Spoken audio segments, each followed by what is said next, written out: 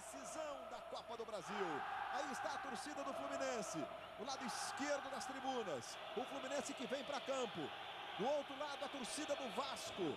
Primeiro jogo aí, a grande torcida do Vasco. Primeiro rolar aqui no Maracanã.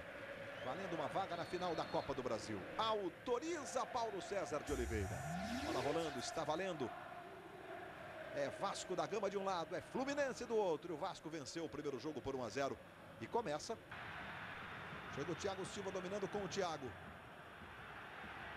Se desmarca ali o Roger. Veja que o time do Vasco marcou a saída de bola agora e funcionou.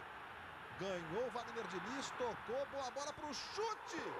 Que bola do Moraes. Tudo bem que a bola, se o goleiro não toca nela, não toca, veja, ela talvez se fosse no gol, o, o Fernando Henrique tocasse na bola, né? Mas foi um chute do Moraes que bate muito bem de fora da área com os dois pés. É a torcida do Vasco, um grande número de ganho. Brama. Passando os jogadores no banco de reservas do Vasco da Gama, você viu ali.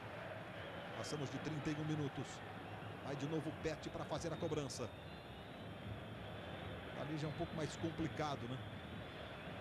De bater direto para o gol. Mas para o Pet não tem posição, não tem distância. Marcão vai lá para a área.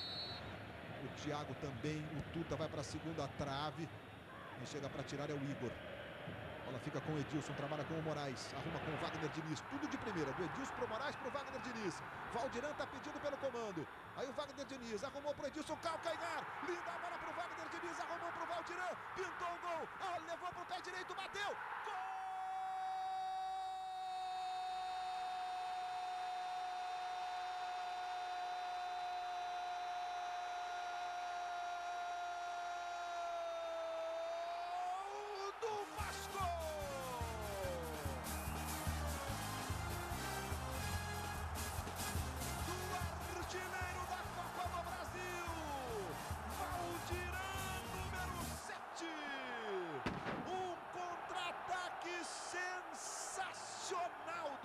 Vasco.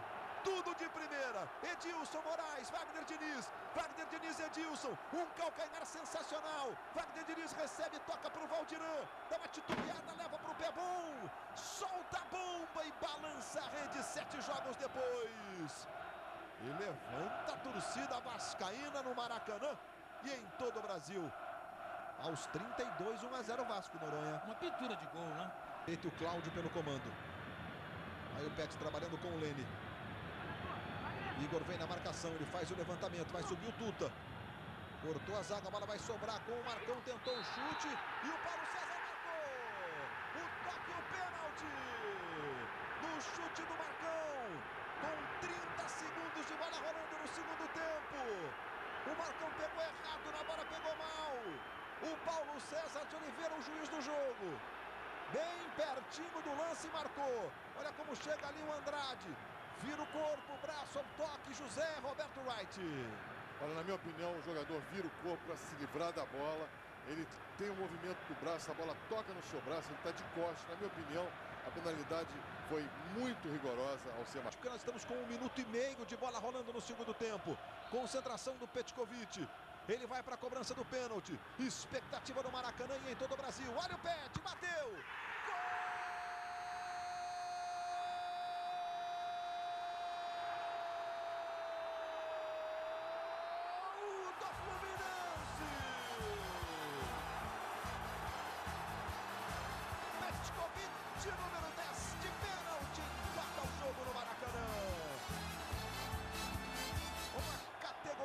Tradicional.